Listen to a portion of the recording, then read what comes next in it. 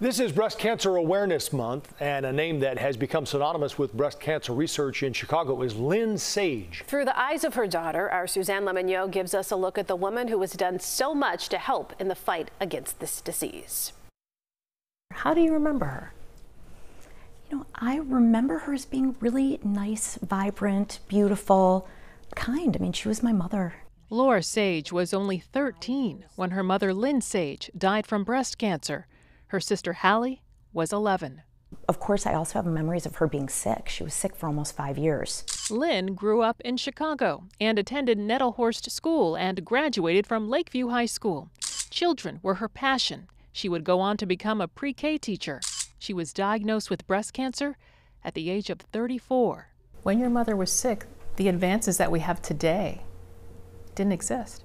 No, it was completely different. A woman diagnosed today has a much better prognosis than my mother did close to 40 years ago. One in eight women will get diagnosed with breast cancer, and of those women, 91%, actually a little bit higher than that, will be alive five years later. And if that woman or man is diagnosed early, then their likelihood of survival is over 98%. Lynn died in 1984. The following year, her husband Yale and friends and family founded Lynn Sage Breast Cancer Foundation in her memory. Laura was recently named a co founder. Her sister Hallie is chair of the board. To date, the nonprofit has raised nearly $50 million with the goal of eradicating breast cancer. So, your organization focuses exclusively on funding research that doctors do in the battle against breast cancer. That's right. We helped fund Dr. Craig Jordan, who was the founder of tamoxifen. Tamoxifen has helped millions and millions of, of people worldwide.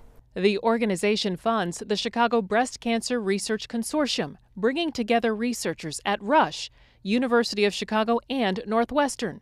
The researchers do clinical trials for breast cancer patients at those hospitals. The idea is to provide equitable health care and these really cutting edge treatments that are often a lifeline for somebody once they've been diagnosed to anybody in Chicagoland.